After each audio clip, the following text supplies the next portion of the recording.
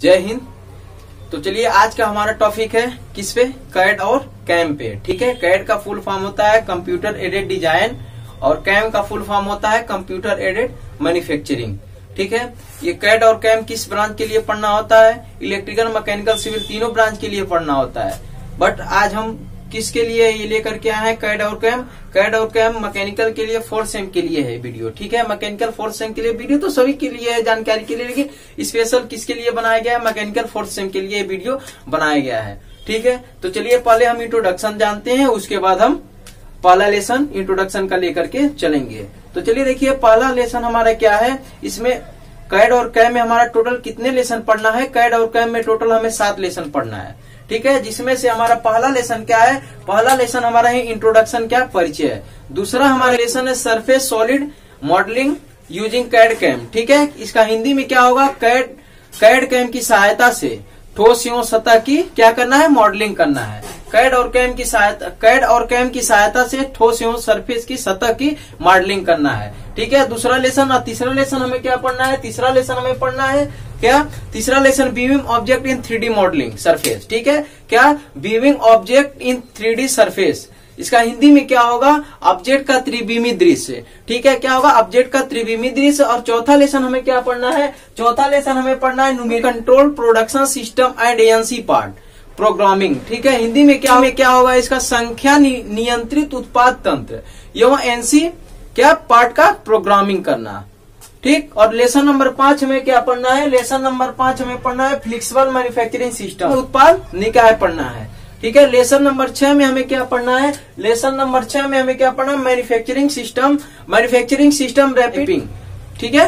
Lesson छह में क्या पढ़ना है? मैन्युफैक्चरिंग सिस्टम रैपिड प्रोटोटाइपिंग और लेसन नंबर सात में हमें क्या पढ़ना है? रोबोट्स पढ़ना है. लेसन नंबर सेवन में हमें क्या पढ़ना है? रोबोट्स पढ़ना है. ठीक?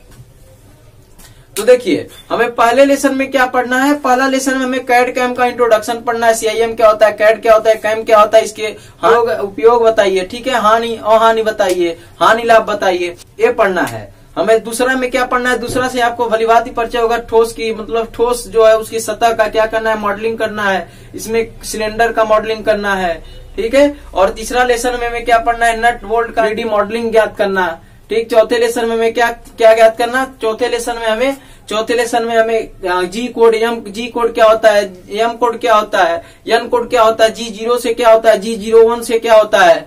ठीक है? एम एम ज़ीरो वन से क्या होता है? एम वन से क्या होता है? एम ज़ीरो ज़ीरो से क्या होता है? ठीक है? इसी सब टॉपिक पे हमें कैड एंड कैम में टोटल लेकर के लेसन नंबर एक से लेकर के सातों के बीच में ही पढ़ना है। ठीक है? कैड और कैम बहुत ही इंपॉर्टेंट होता है। इस समय भी हमेशा के लिए। ठीक है? ये जो लेसन नंबर छह manufacturing system rapid pro prototyping इस सब में हमें क्या करना है? इस समय में सीएनसी मशीन के लिए। तो हमारा है। लेसन नंबर छह हमारा आप सिक्स में आप जाएँगे सीएनसी मशीन के लिए प्रोग्रामिंग करना ये सब करने के लिए ये पढ़ना पड़ेगा। ठीक है? और इसमें भी वही करना पड़ेगा सीएनसी मशीन सीएनसी मशीन चलाने के लिए ये ले, लेसन नंबर जो चार है सीएनसी मशीन प्रोग्रामिंग भी इसका यूज़ है। ठीक है? तो चलिए स्टार्ट करते हैं पाला लेसन पहला लेसन क्या है पाला लेसन इंट्रोडक्शन इंट्रोडक्शन क्या होता है कैड और कैम क्या होता है बताते हैं आपको ये कैड क्या होता है इंट्रोडक्शन परिचय पहला लेसन स्टार्ट करते हैं आपका इंट्रोडक्शन ठीक है कैड पहला हमारे क्या है कैड क्या होता है सी ए डी ठीक है कैड और कैम क्या होता है कैड का फुल फॉर्म होता है कंप्यूटर एडेड डिज़ाइन और कैम का फुल फॉर्म होता है कंप्यूटर एडेड मैन्युफैक्चरिंग ठीक है कैड क्या होता है इसका परिभाषा बताते हैं आपको क्या होता है कैड के अंतर्गत कंप्यूटर का डिज़ाइन संबंधित कार्य।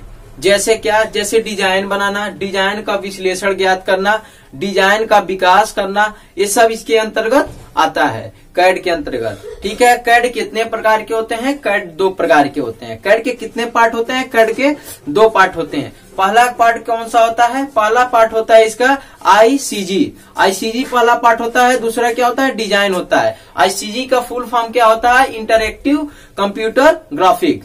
ठीक है? ये दो पार्ट में होते हैं। पहला क्या है कैड के? पहला और दूसरा। पहला क्या है? आई आईसीजी आईसीजी और दूसरा डिज़ाइनर आईसीजी क्या होता है? आईसीजी क्या होता है? आईसीजी होता है इंटरेक्टिव कंप्यूटर ग्राफिक्स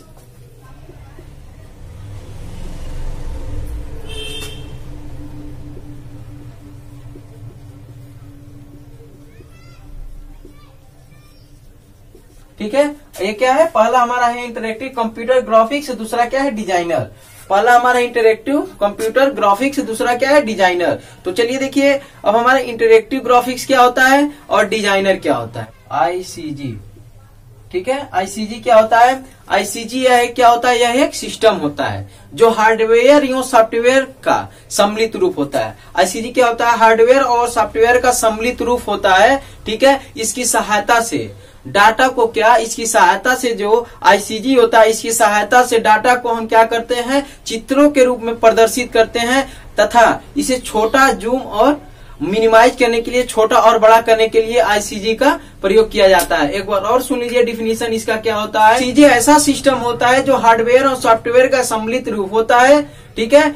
इसकी सहायता से हम क्या है? आईसीजी की सहायता से डाटा को हम क्या कर सकते हैं? आईसीजी की सहायता से हम डाटा को चित्रों के रूप में प्रदर्शित कर सकते हैं और इसकी सहायता से हम चित्र को बड़ा और छोटा कर सकते हैं। ठीक है? अब डिज़ाइनर क्या होता है?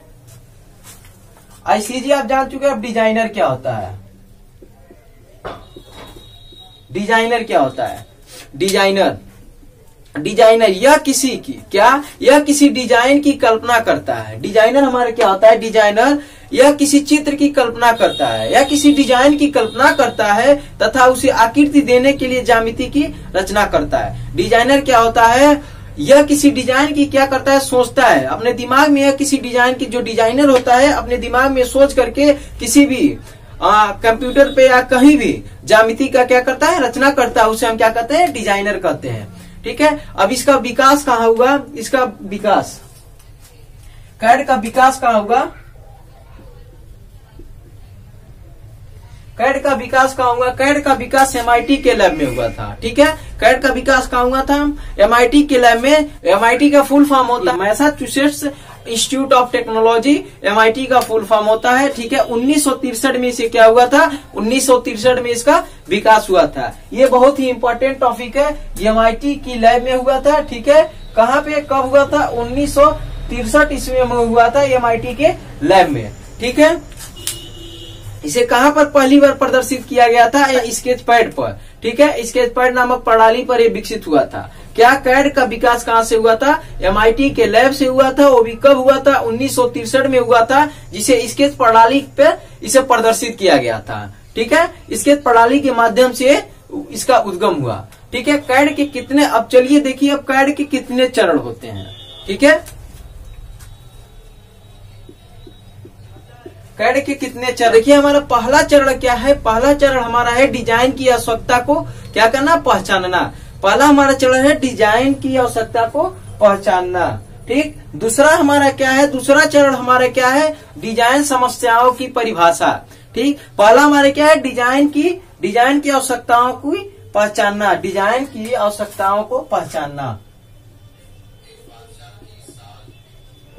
डिज़ाइन की आवश्यकताओं को पहचानना।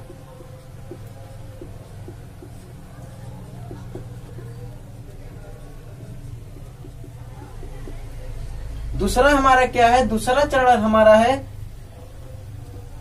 डिज़ाइन की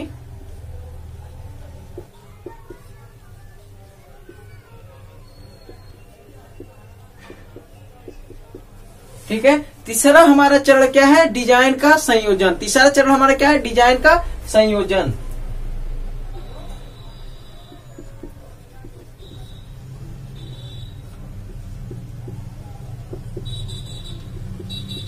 चौथा चरण हमारा क्या है? तीसरा चरण हमारा डिज़ाइन की है।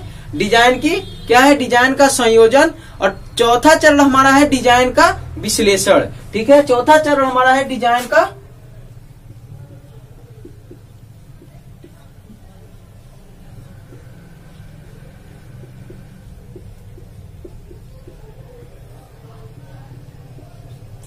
अगला चरण हमारा क्या है? पांचवा चरण हमारा क्या है? पांचवा चरण है हमारा डिज़ाइन का मूल्यांकन। ठीक है? क्या है पांचवा चरण?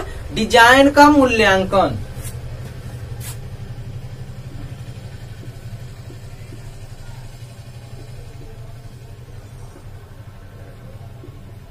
अब नेक्स्ट चरण हमारा क्या है? ये हो गया हमारा डिज़ाइन का मूल्यांकन। अब नेक्स्ट चरण हमारा क्या है? डिज़ाइन का प्रस्तुतिकरण। ठीक है? लास्ट चरण हमारा क्या है? डिज़ाइन का प्रस्तुतिकरण।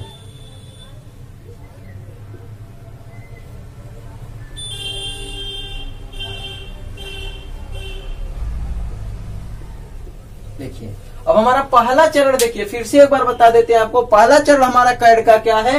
डिज़ाइन की आवश्यकताओं की पहचान करना। दूसरा हमारा क्या है? डिज़ाइन की समस्याओं की परिभाषा। तीसरा चरण हमारा क्या है? डिज़ाइन की संयोजन।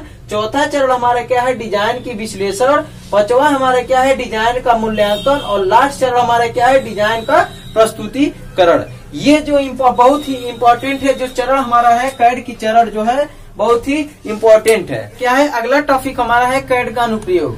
कैड के लाभ, कैड के अनुप्रयोग और कैड के हानि। ठीक है? कैड का अनुप्रयोग, कैड का उपयोग कहाँ कहाँ होता है, बताते हैं हम आपको। टॉपिक हमारा है क्या? कैड का उपयोग। इसका उपयोग कहाँ कहाँ पे होता है? कैड का।